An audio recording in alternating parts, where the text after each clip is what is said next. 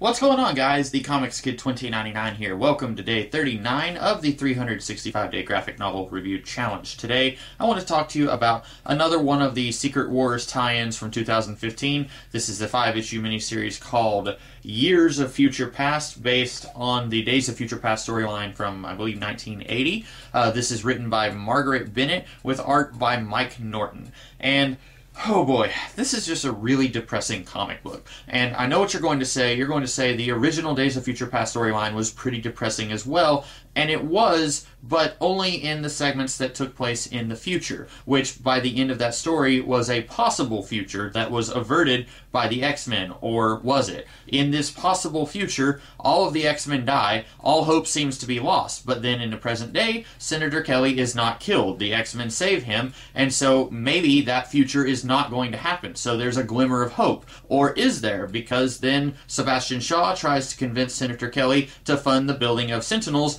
which in theory is going to lead to a world very similar to the Days of Future Past world that we saw in that storyline. So, uh, depending on if you're a glass half full or glass half empty kind of guy, the original story was either really depressing or there is a glimmer of hope, and that story is not going to come to be in the future of the Marvel 616 timeline. Uh, this story is entirely set in that awful future, uh, which is good because since this is a segment of Battle World, which is a big planet that is made up of different alternate realities that have all been uh, smushed together, it would have been really confusing to try and throw time travel into the mix also. So I'm glad that they stuck with the elements of the possible future from the original Days of Future Past storyline, but that world, like I said, is a really dark and depressing place. And they did not disappoint. If you are looking for dark and depressing, then this is definitely something that you're going to want to check out. Me, I did not enjoy this because it was so incredibly dark and depressing.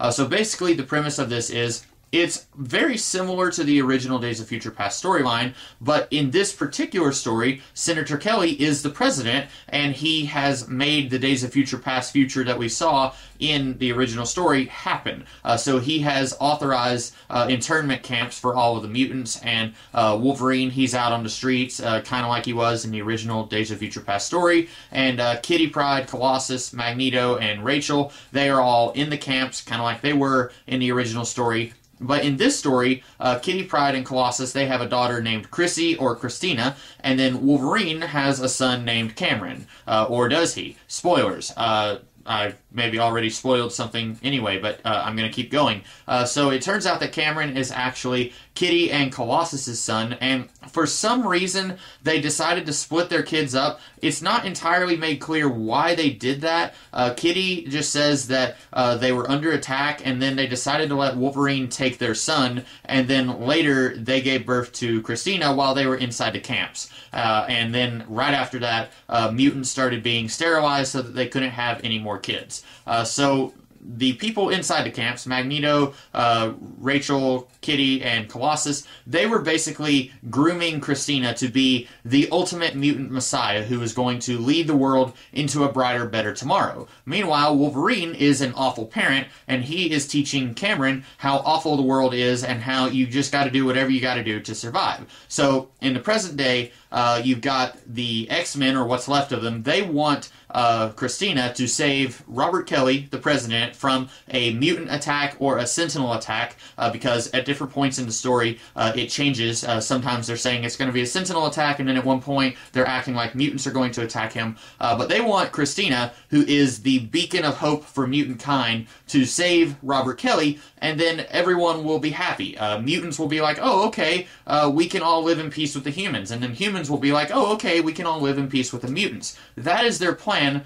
Uh, but then you find out that there is a secret plan that Rachel and Magneto cooked up where they are secret, secretly going to try and kill Christina, and then they are going to turn her into a martyr for mutant kind. And nobody else knew this. And then after this plan is uncovered, Cameron suddenly becomes a maniacal supervillain, and he says that he is going to go and kill Robert Kelly because uh, he firmly believes that mutants and humans cannot coexist, and he wants mutants to be eradicated. And he thinks that if he goes and kills Robert Kelly, that all the mutants will be killed. And maybe this is just the genocidal maniac inside me speaking, but uh, Cameron kind of sort of has a point to a degree. Uh, he talks about how the world was fine until superhumans came along, and then suddenly uh, it just all fell apart, and he blames all the problems of this particular world on mutants and, I guess to a degree, superhumans like the Fantastic Four, Spider Man, and the Avengers. Uh, he says that everything was fine before superhumans showed up.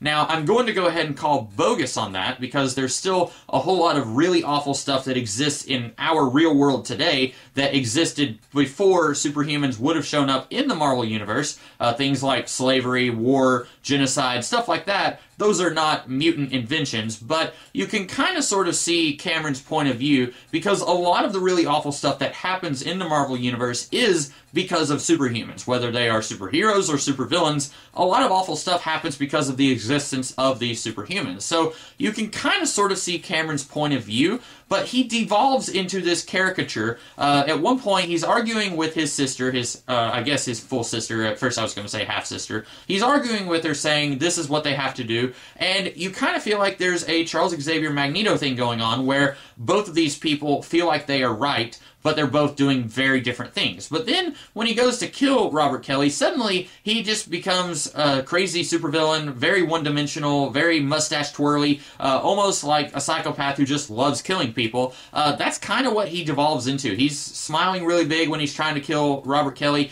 and he just uh, doesn't become the interesting character that this book wants you to think that he is in the first chunk of the book. Uh, but anyway, uh, the day is sort of saved, but it's a very hollow victory. Uh, the book does not have a happy ending, uh, even though uh, at the end of the day, Robert Kelly does not want uh, the surviving mutants to be captured or contained.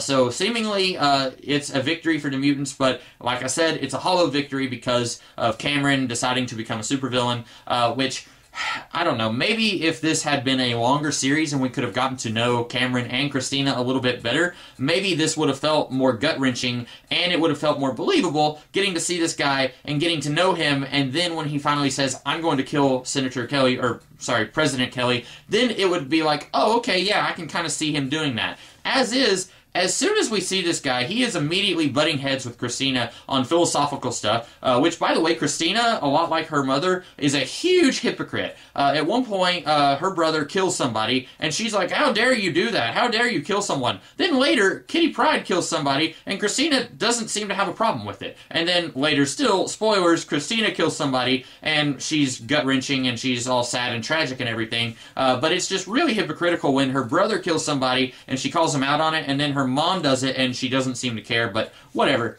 Um, I didn't really enjoy this story. It's not that it's a bad story, although I'm not going to say that it's a great story either. Uh, I do think that you need to be a little bit familiar with the Days of Future Past storyline to read this. Maybe not. Uh, maybe I'm just bringing my knowledge of the Days of Future Past storyline into this book. Uh, maybe you don't need to know it. All you really need to know is it's a post-apocalyptic future where mutants are kept in internment camps and they bring all that information into the story. Uh, so I'll redact that statement. Uh, uh, I did not enjoy this. That's not to say that it's a bad story, but it's definitely not one that I would recommend that you read just because it's so depressing and I don't like to be sad when I read stories. I like to be enjoying the stuff that I read or watch or whatever. I don't want to be sad and just leaving the story with a really bitter taste in my mouth. I don't like that feeling. Uh, so uh, I am not going to recommend Years of Future Past, but not because of the quality of the story, mostly because it's just so dark and bleak. Uh, so those are my thoughts on this story. I hope that you guys liked this video, and if you did, be sure to like, share, comment, and subscribe, and I will be back tomorrow with another video. In the meantime, you guys have a great rest of the day. Catch you later.